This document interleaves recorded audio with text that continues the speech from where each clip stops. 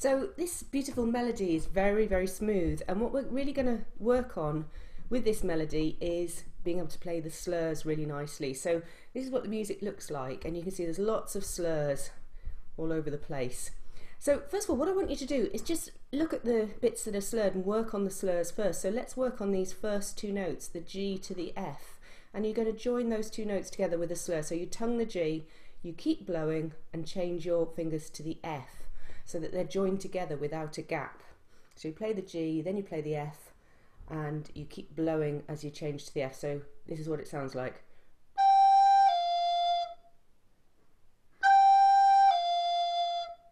So you have a try at that now.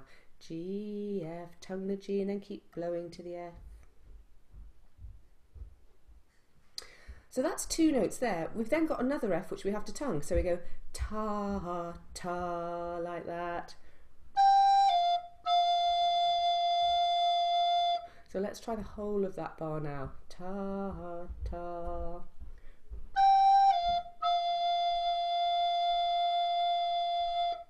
You have a try. Now, moving on to this bar here, we've got another two notes slurred together, C to B flat. This is a bit harder actually because the fingering's quite difficult, C to B flat like that. Of course, we've got a B flat in the key signature, so all the B's are B flat, unless, look here, we've got a natural sign, and that tells us to play just a normal B. It, it, gets rid of the B flat when we've got that natural sign there, so that's a normal B there.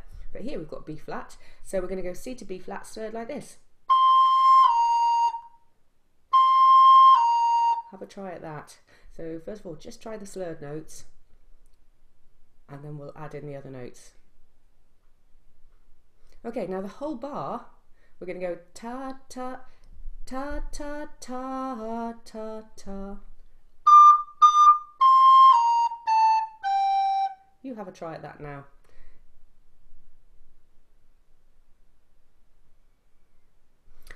Now looking back to this bar here and the following bar, we've got loads of slurs here. We've got the first two notes slurred, then four notes slurred together, and then another two notes. So let's try the four notes all together. So we're going to have a go at um, just doing this bit here, these four notes.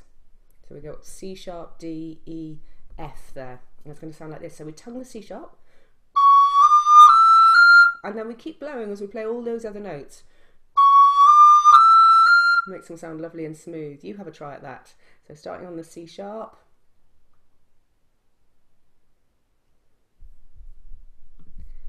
Okay, now we need to try these two slurs as well. So we're going to tongue that and go ta ta ta ta. Quite tricky. This is what it's going to sound like. Sorry.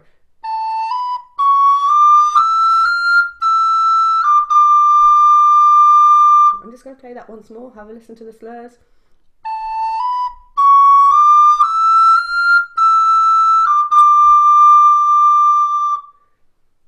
I think you might need to do quite a bit of work on that bit to get the notes and to get the slurs working properly. So have a try of it now, but you probably need to have a, have another really good practice of this after you've watched the video. So just having a, look, a couple more things in this piece. You've got, as I said before, the key signature of B flat here. You've got P at the beginning, which means soft, so this is very gentle, this opening. You repeat the first section. Then you've got mezzo forte, which means moderately loud, so a bit stronger here. And then it gets even louder with a crescendo, so it builds up towards this bit. Then it goes back down again to DC to go back to the beginning and play the first bit softly again. And then when you get to this bit which says to coda, you jump all the way down here to the coda and play the last two bars to finish off.